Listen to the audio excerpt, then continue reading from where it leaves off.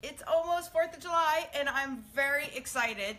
Um, so one of my favorite, favorite ideas is transforming a cinder block like this right into a small garden. What better way to show you how to do it than by my, using my idea for a uh, patriotic tablescape.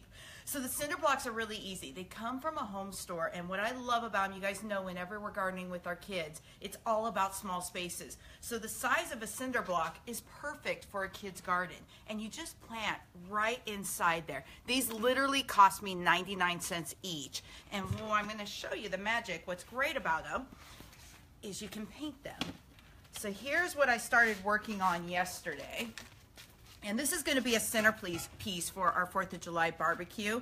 But what's great is I just used spray paint that I had in the garage. But if you have kids, you could have them just actually use a paint and brush and they can design any color. Obviously, it's 4th of July. I'm using red, white, and blue. But if your kids wanted to, to turn this into a, a green turtle to put into the garden, they could paint this any way they want and you can accent anywhere in the garden and make a kid's garden. Uh, the trick to what I did here in getting the straight lines was using duct tape. So I just grabbed my duct tape, and the reason I use duct tape rather than a painter's tape is it's really sticky. And you can see, all of a sudden, I'm gonna have this really cool design with stripes to be my planter. I can see it's so sticky, it's stuck on there. And sorry, the kids were supposed to be here to help me today because these were their ideas too, and they were very excited about gardening. But it's summer vacation, and they're still upstairs asleep. So I figured I'd show you anyway. So this is going to be our centerpiece, and I've got two of them. If you get more, the great thing with cinder blocks is you could stack them, and you could actually make almost like a pyramid of cinder blocks to make a raised garden for your kids also. But this is going to be in the center of our dining table, and all I'm going to do is kind of put them right in the middle and then I'm gonna plant them out. One thing, if I was planting this actually on top of my garden dirt, I wouldn't have to do anything to the bottom. But because this is a tablescape, I actually took some of my plant pots that I usually recycle and take back to the nursery or some of us throw them away. And I just cut the top of them off because they actually fit perfectly right inside that cinder block. And then I can plant some of my different plants. Going to the garden center with the kids um, at Fourth of July time is really fun because you can send them on another scavenger hunt. This time, send them to find red flowers, white flowers.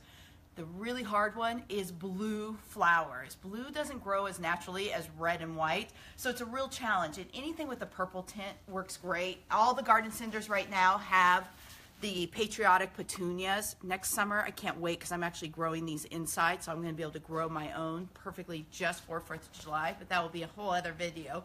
But the petunias work really nice for a tablescape.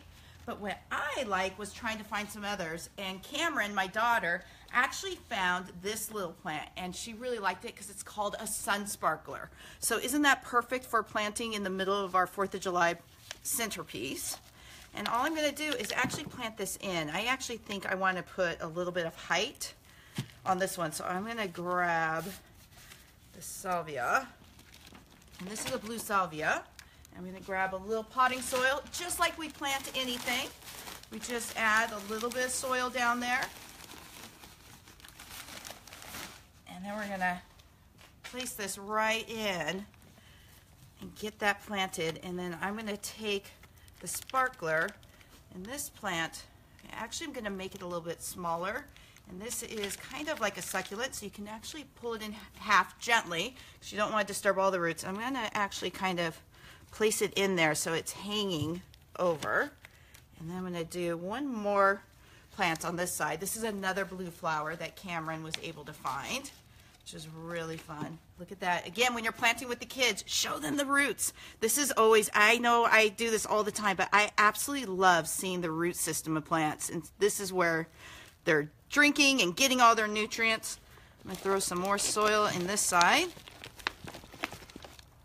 And then we're going to throw that in there. And it's all about having some different heights and some different colors. And then I'm to throw our sparkler in here. And you can see you can be creative but we're having this totally festive little garden centerpiece going on. And over here, I'll probably put the petunias or the daisies.